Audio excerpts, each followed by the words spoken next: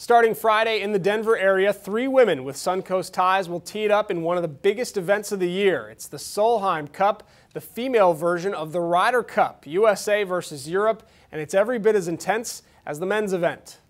Former Bradenton resident Paula Creamer, who still practices in Lakewood Ranch, made the USA team on points. She's a Solheim Cup veteran. Bradenton native and resident Jessica Korda made the USA team on points, her first time playing Solheim Cup. And Sarasota resident and my wife, Jody Ewart Shadoff, who's originally from England, made Team Europe as a captain's pick, her rookie outing in Solheim play as well.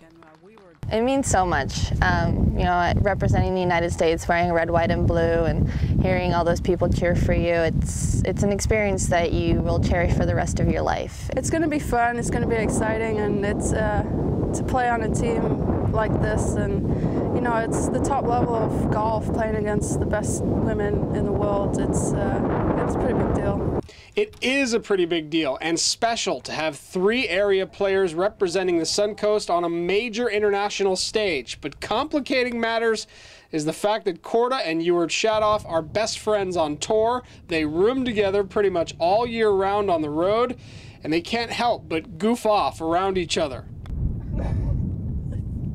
We're just dorks. We're just dorks. There's no other way to explain it. We quote movies, we listen to songs, and you know, it's it's nice. It's nice to have somebody out on tour. It's quite lonely out there, and to have somebody that you can lean on and kind of you know they're going through the same experience as you are. So I think that's definitely helped us with getting closer. But don't let that fool you. You don't get to the highest level of the game without some serious competitive fire. And when it comes to the Solheim, these women want to beat each other.